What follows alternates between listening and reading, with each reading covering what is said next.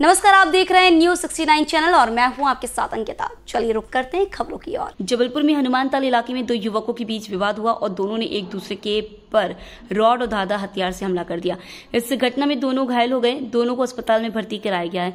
हनुमान ताल पुलिस को घटना की जानकारी लगती है। पुलिस ने घटनास्थल का निरीक्षण कर दोनों पक्षों पर मामला दर्ज किया है। पुलिस का कहना है कि किलकारी घाटिंग के पास रहने वाले अदनान और मुल्तजा के बीच पुराना विवाद है। पुराने विवाद के चलते दोनों आपस में भिड़ गए और नुकीले और धाधा हथियार से हमला कर दिया। इस घटना में दोनों घायल हुए हैं, जिन्हें उपचार के लिए जिला चिकित्सालय में भर्ती कराया गया है।